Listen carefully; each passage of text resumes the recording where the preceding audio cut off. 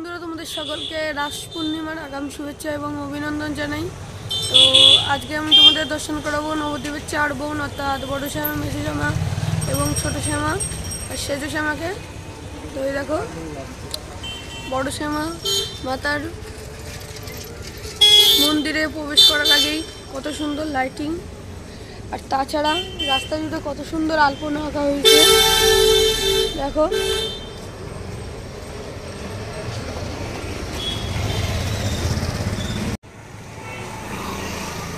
তো বন্ধুরা এখন আমরা এসে উপস্থিত হয়েছি তেগুড়িপাড়া বাজারে। আর এই দেখো, এখানকার বড় শ্যামা মাতা। আর এই ঠাকুরটি কিন্তু খুবই জাগ্রত এবং নবদ্বীপের একটি ঐতিহ্যবাহী ঠাকুর। ঠাকুর প্রায় কমপ্লিট আর প্যান্ডেল তো কমপ্লিট হয়ে গেছে আগের থেকেই।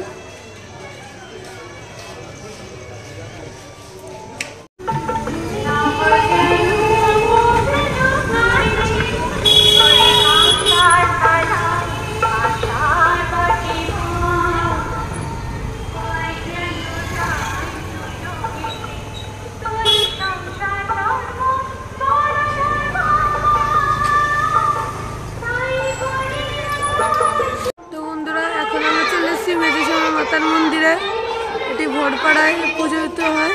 আর তাছাড়া এই ঠাকুরটি খুবই জাগ্রত। আর এই দেখো, এখনও রং চলছে ঠাকুরের। আর তাছাড়া বন্ধুরা, এই দেখো, এখানকার কত বড় ঝাড়বাতি লাগিয়েছে।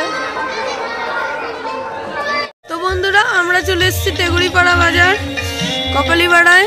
আর দেখো, এখানকার সেজশ্যামা মাতা আমরা দর্শন করছি। তো তোমরা সকলেও দর্শন করে নাও। ঠাকুর প্রায় রেডি হয়ে গেছে। আর এই দেখো, এখন এখানে ঝাড়বাতি লাগানো হচ্ছে। আর এই দেখো।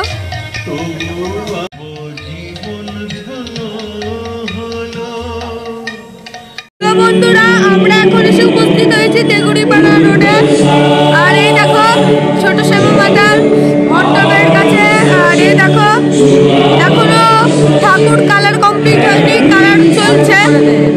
আর এই দেখো, প্যান্ডেল পুরোই কমপ্লিট হয়ে গেছে। আর রাতের মধ্যেই ঠাকুর